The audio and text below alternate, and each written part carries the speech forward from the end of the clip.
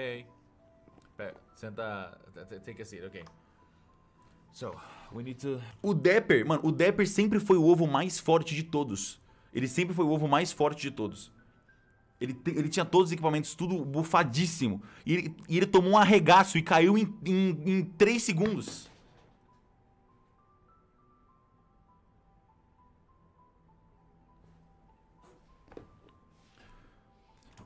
E depois do que, do, do que a gente tá vendo, os códigos e a federação, eles não são a mesma coisa, certo?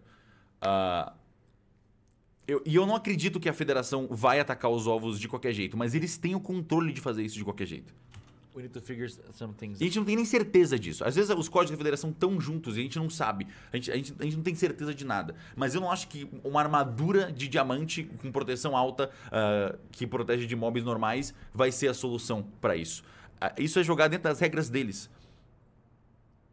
out. Uh, A gente, tá, gente tá lutando contra Deus. Não dá pra pegar uma espada e tentar matar Deus.